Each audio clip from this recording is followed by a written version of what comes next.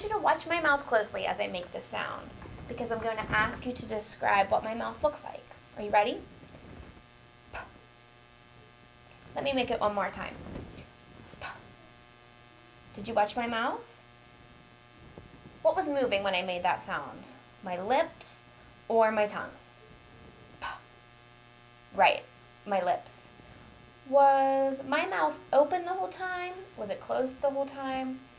Or was it both? If you said my mouth started closed and then opened at the end, you're exactly right. You try to make that sound for me. And while you're doing that, go ahead and stick your hand in front of your mouth and see if you feel anything.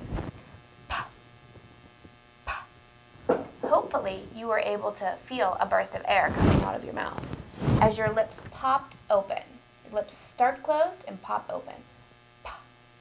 And for that very reason, the letters that we're going to talk about today, we call lip poppers. Take a look at these two pictures here. I'll show them to you one at a time. And I'm going to ask you to tell me which of these pictures looks like my mouth when I make that sound. So here's the first one. Here's a picture of lips. And you see a burst of air coming out. Okay. And here's the other picture.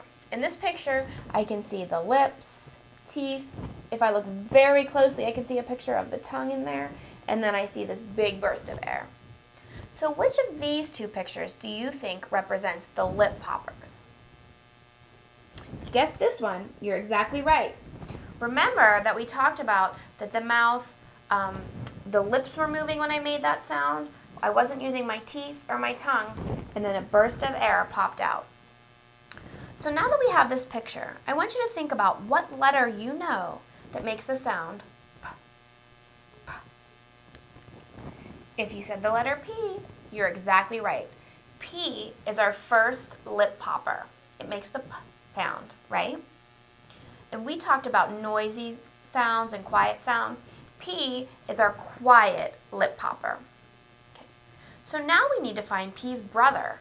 What letter goes with P? What letter is also a lip popper? Let's take a look at some other letters and see if we can find the match. Let's start with this letter, T. T makes the T sound. Did you see my lips pop? No, so that's probably not the right choice. Let's look at this one. Here's the letter D.